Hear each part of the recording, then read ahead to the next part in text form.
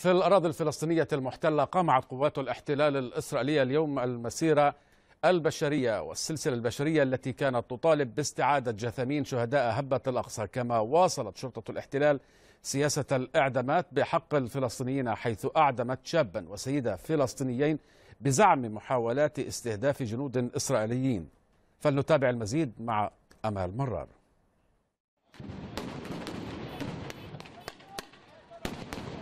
بالأعيرة المطاطية وقنابل الغاز والصوت. انهالت قوات الاحتلال في مدينة القدس المحتلة على مئات المشاركين بمسيرة السلسلة البشرية لاستعادة جثامين الشهداء الذين ما زال الاحتلال يحتجزهم منذ بداية الهبة الجماهيرية.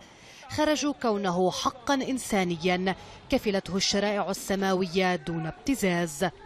اليوم الإسرائيليون موجودون في حالة خوف دائم ويقتلون كل عابر سبيل دون أن ينالوا عقابا أو أن ينالوا حتى استنكارا من من أحد.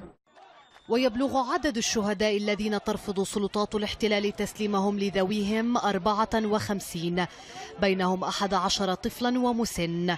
فيما اتهم حقوقيون وعائلات الشهداء الاحتلال بسرقة أعضاء أبنائهم حيث يشترط دفنهم مباشرة بعد تسليمهم دون تشريح طبي.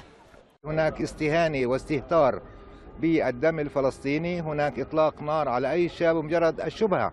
يعني مجرد أن أحد المستوطنين أنه يشير بإصبعه على أي مواطن فلسطيني هذا كفيل بالشرطة الإسرائيلية أو بالجيش الإسرائيلي بإطلاق النار على هذا الشاب.